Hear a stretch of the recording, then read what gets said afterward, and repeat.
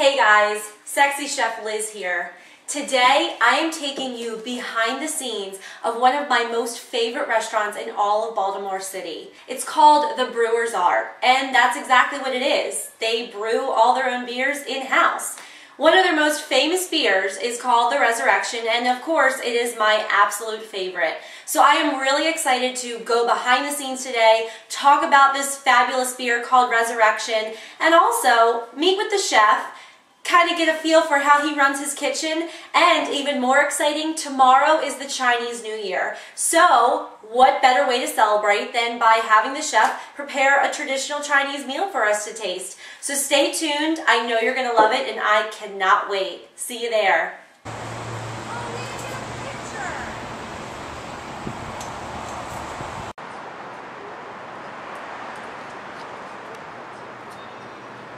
So I'm standing right outside of the Brewer's Art, which is one of the most popular and famous restaurants in Baltimore City, located in Mount Vernon. I'm about to go behind the scenes and meet with Executive Chef David. He's going to take me in his kitchen, show me all around, and tell me all the secrets about how everything works.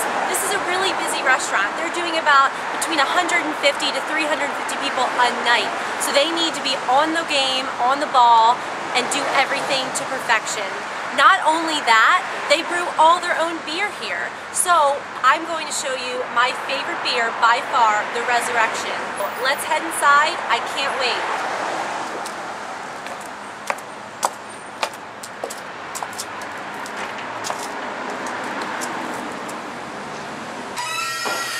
Hi, David.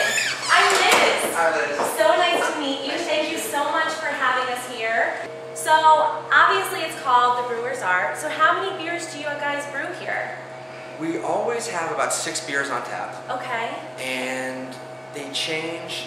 Three or four of them are standards, and they'll always be here. Uh-huh. And we have a few seasonals that come in and out. Uh-huh. And I think, But correct me if. I'm wrong, the Resurrection is probably your best seller and Absolutely the most popular seller. beer here. Absolutely our bestseller. It's Um, definitely my favorite beer, that's for sure. It seems to be Baltimore's. So tell me, Dave, in celebration of the Chinese New Year, which is tomorrow, what are we going to be making today? We're gonna do a noodle bowl with Marvesta shrimp, which Mmm, is that sounds delicious. a local shrimp farm um, from the Eastern Shore that we love to use. We get daily, so those are fresh shrimp. That sounds amazing. I love shrimp and anything with noodles. So um, on our way back, I guess we can take a tour around. Absolutely, I'll show you uh, where we make the beer. Wonderful. So this is our dining room. Um, two dining rooms. This is the main dining room, and this is our back dining room that we, when we're busy, we see people here, and uh, we do parties back here. Awesome. I like 30 it. Kind of rustic. Yeah, it's cool. It's kind of German. yeah. Awesome. I know you guys are jamming out back here. These are our two, um, we make Oh, wow. and then we funnel it downstairs, and it's um, fermented downstairs. It's sort of Awesome. boiled and actually- This is so cool. I've never been in, inside one of these before. Yeah, it's really pretty. It is awesome. Great. Very cool.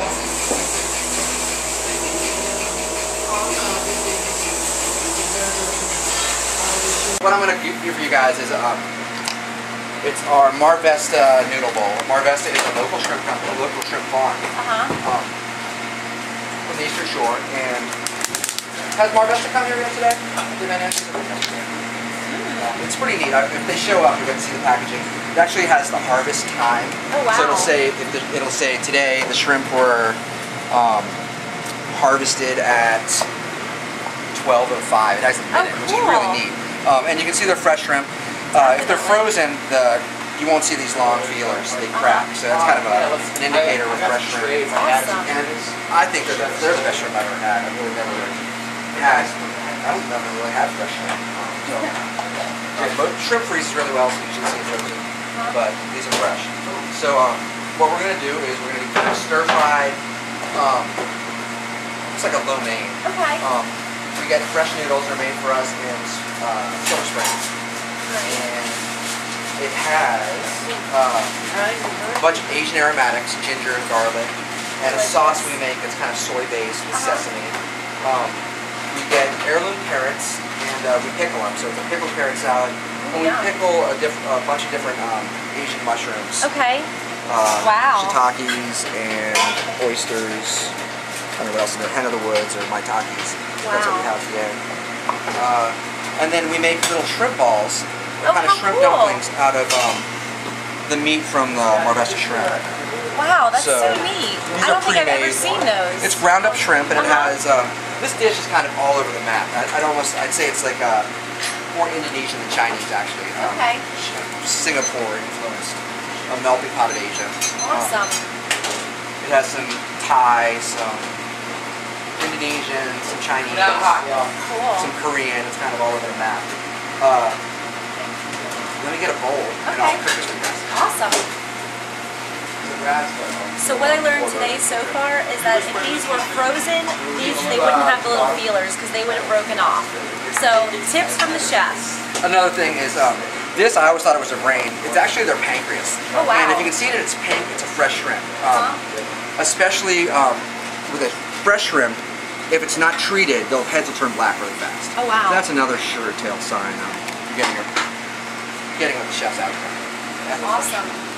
Good to know. Good to know. And then we're gonna do, uh, we make a consomme here, so we make a, we use the whole shrimp. We use um, the shells to make a consomme. We make the Okay. stock and then we clarify it. So it's kind of a, a laborious uh, Process. process. yeah. um, yeah, it's warm. Even in the winter. It's all good. Okay, so um, we're gonna do uh, kind of a, a noodle stir fry meets a soup. That's kind of the theme of the dish. So we'll start. Compared to the restaurant, we season everything fairly aggressively. Okay. Probably more so than you would at home. Uh, high and Nice. yeah, we try to season things very evenly. Technique. Technique. So So it's just um, is that olive oil or is it just like uh? This is grapeseed oil. Oh, Uh, wow. We like grapeseed oil. It has a real high smoke point. You can see these two different pans. This is, I call these wok pans. Uh-huh. Okay. This, the oil's already smoking in this pan. It takes like Yeah. five seconds. As where this is a heavy bottom French pan, and it takes a few minutes actually. Okay. Um, So you want you want it to start smoking. well, depending on the application. Um, Okay. We're also going to heat up a consomme slowly.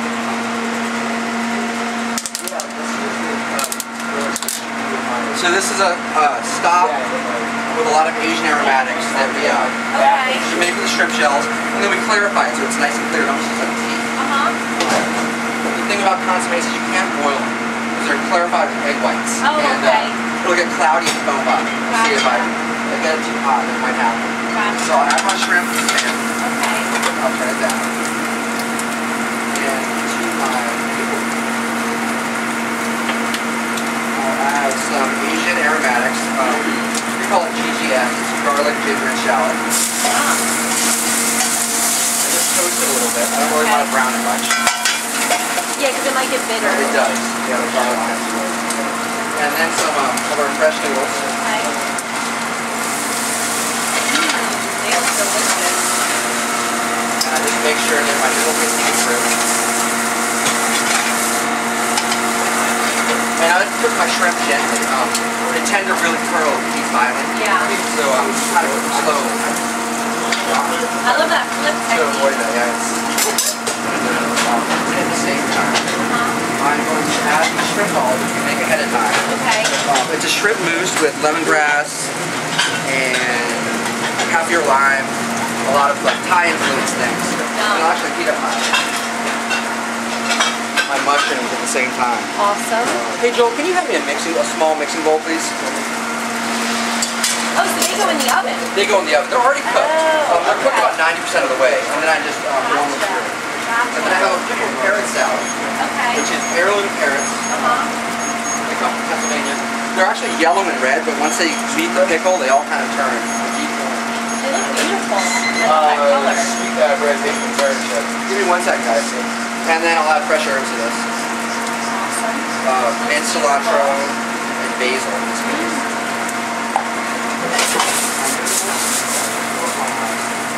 And then I add, this is our stir fry sauce. It's kind of a soy-based Uh-huh. mixture. And we just caramelize that.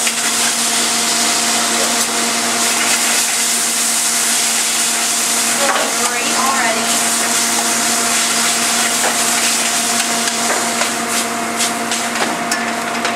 Stir fry is like one of my favorite things. Yeah, so we're pretty comfortable with Asian food here. Yeah. Um, Is a big seller here? it is. It's one of our best sellers. Um, anything that we put our best shrimp on sells really well. Yeah. Uh, I would imagine. well, you know, the, the trend towards local sustainable products is, is huge and Baltimore with caught on. to it. Absolutely. So we love them here. And then uh, I'll just make sure that since we're serving these with the heads on, Uh-huh. and they tend to um, go from gray when they're raw to pink when they're cooked. I like to flip the heads. Um, the heads are actually pretty popular too. Um, people suck the heads. Really? Yeah, there's a lot of flavor in them. Um, so that's basically the dish. Now it's all needs to be put together. Um, And what's your rule of thumb for cooking shrimp? How long would you say? it depends on the shrimp and the heat. You know, there's there's tons of variables. I like mine kind of medium. Uh-huh. Uh, I don't like them tough, especially these shrimp. They're real expensive. Yeah. So you want to make sure they're cooked just right. J- yeah, just cooked through. Um, they're, I mean, these shrimp fetch four to five times the price of what you find in the supermarket. Um, Exactly. Because they are incredibly perishable. And there's no, they're, um, you know, they're a green, low impact product. There's uh, very little impact on the environment. Uh, Awesome. That's what we like to hear. they smell really good. They gotta get shrimp. Oh, they smell so delicious. Mmm. So, we'll plate it. Awesome. Oh, so that kind like keeps everything hot. During service it does. That's Nice. actually turned off. so I don't burn the restaurant down. um, I'm gonna throw this in the oven just to kind of see if I can get some color on the head. Okay. So, just start um, taste everything just to make sure that we're looking good. Of course. The best part, That's we're tasting. Mmm, that And looks so good. We try to present it nice and twist it up. Uh-huh. Fabulous. And we try to build a little bit of height in the plate, so Uh-huh. right in the center keep it as clean as possible, Nice. which is always a challenge at a busy restaurant. Oh, yes. That's. Plating is an art all in itself. Yeah, you know, I'm a little rusty. I work on the other side of the kitchen usually. Uh-huh. The guys in the kitchen do all the plating, so I want to make it look good. So they kind of talk the talk, walk the walk. Yeah, exactly. So I'll put the mushrooms down. And they, they're, they're slightly pickled, so that's an acidic element to this dish. Okay. Um, Nice. And now, did you come up with this dish all on your own, or was Yeah, I mean, something? a, a lot of times um, the entire kitchen will kind of collaborate with it. What do you guys want to see? What do you want to Cool. do? This is what's in season. We'll write a list of the ingredients for the season, Uh-huh. and then we'll kind of put the dishes together. It's almost like a jigsaw puzzle. Awesome. We have in the you know so we have carrots and sweet potatoes on this dish. Let's put cauliflower on this dish, Nice. and we sort of spin the dial. But Next year you may see uh, something similar to this, Uh-huh. Just a little bit different. just a little bit different. Keeping then, it uh, mixed up. Nice. That We'll put the looks consommé. beautiful. Try not to. Nice little technique with the spoon there. I'm trying to be clean. Wow, that looks amazing. It's pretty. It's a really the It broth is really, really is. And then with these beautiful shrimp, we just kind of stand them up. Well, actually, let me do this in reverse. Put my salad on first. Okay. I love carrots. This is it, guys. Wow. So we build some height.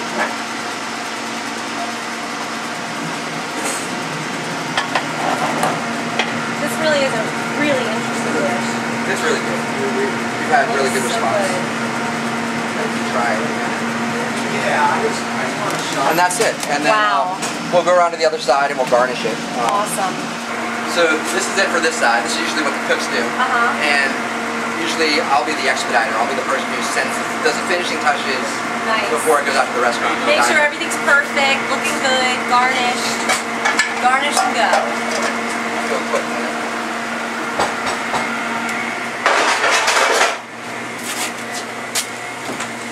You guys can have your station back now. Thanks, guys.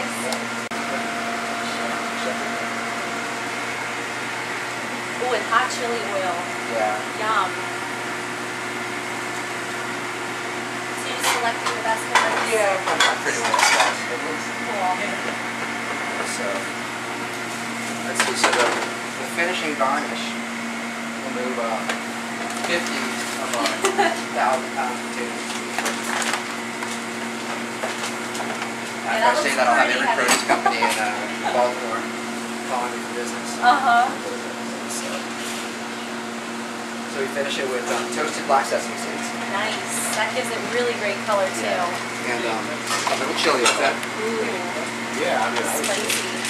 And some cilantro. get to get water. Yeah, that cilantro really adds a lot of great Yeah. color on the top. That looks that's the fabulous. You guys want to go eat? Amazing. Yes, definitely. We'd love to. So here's our finished dish. Resurrection, which is our say go-to beer here at Brewers Art. Uh, So is there any way I should eat this in any specific however order? you want. I, I'm always a always right. So. I like the broth. I mean, Okay. I that's, that's the thing that Let's takes us taste the most time. Let's taste some Say I'm most proud of. Kind of essence of shrimp. Wow, that's really, really, really awesome. It is. It's got a lot of different flavors. Citrusy, a little bit spicy. You can really taste everything. Here, we can both dig in.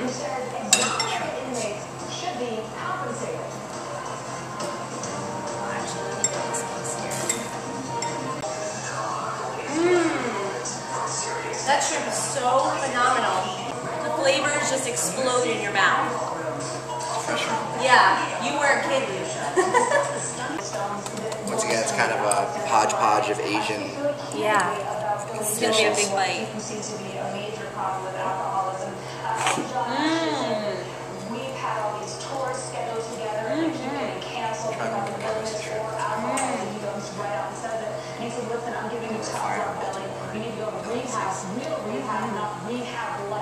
Wow. That was so good. It's got a lot of like subtle heat in it, a lot of citrusy flavors. Really, really delicious. Mm, oh my god. You can really taste the, the freshness of this. It's so good. Mhm. It's no wonder this is one of your signature dishes. It's new for us, but hopefully we'll be. So, so delicious. And my favorite to top it off with this fabulous resurrection that I've been talking about. Absolutely amazing. And I love the, the little kind of goblet that you guys Yeah, serve. we get them. They're from Belgium. They're hard to source. We got them. That's our class. Yeah, absolutely perfect. Well, thank you so much for, You're very welcome. for having us here and, you know, taking us through your kitchen and showing us this amazing dish and telling us a little bit about everything. We really appreciate it. Thank you so much, David.